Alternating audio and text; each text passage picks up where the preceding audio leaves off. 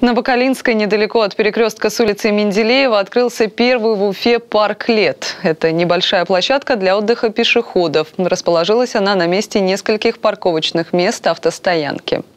Сама идея парклет, она пришла еще из Сан-Франциско. Там лет пять назад началось такое экологическое движение против машин, за людей, город для людей. Несанкционированные парковки, парковочные места, они стали возникать везде. И люди призваны были просто благоустроить, то есть вот парковки каким-то образом, а как на сжатой территории вот сделать благоустройство. Они придумали такие вот парклеты. Это место отдыха горожан. Можно посидеть, э, может быть, скушать мороженку, выпить кофе, что-то. Э, для любых активностей. Можно здесь поиграть в настольные игры, прийти, еще что-то. Если э, это доживет в целости и сохранности до лета, то я думаю, что это будет активно использоваться.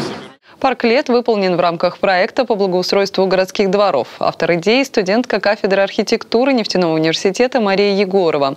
Со своей идеей она выступила на Всероссийском форуме Таврида в 2015 году.